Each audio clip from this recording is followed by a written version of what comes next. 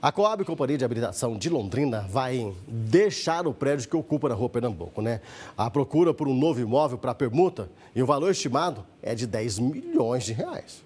Infiltrações, rachaduras, instalações elétricas antigas e inadequadas. Esses são só alguns dos problemas do prédio da Companhia de Habitação de Londrina, que fica nas esquinas da rua Pernambuco e Alagoas. Um estudo realizado pela diretoria técnica apontou que uma reforma ficaria muito cara e que talvez não fosse solucionar todas as precariedades.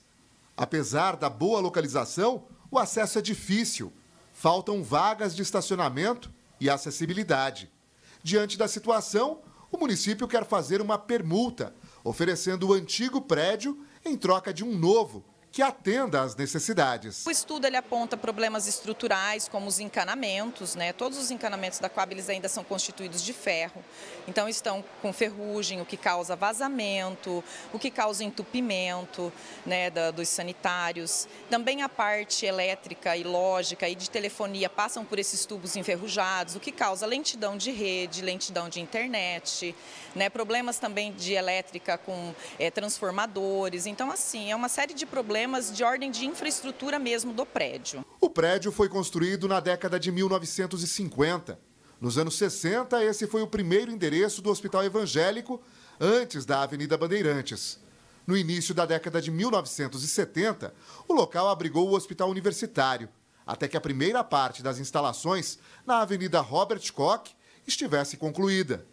A Coab passou a ocupar o espaço nos anos 80 para atender a grande demanda com a construção dos conjuntos habitacionais na cidade. Mas depois de praticamente meio século, a estrutura ficou precária. Mesmo assim, o terreno é bem valorizado.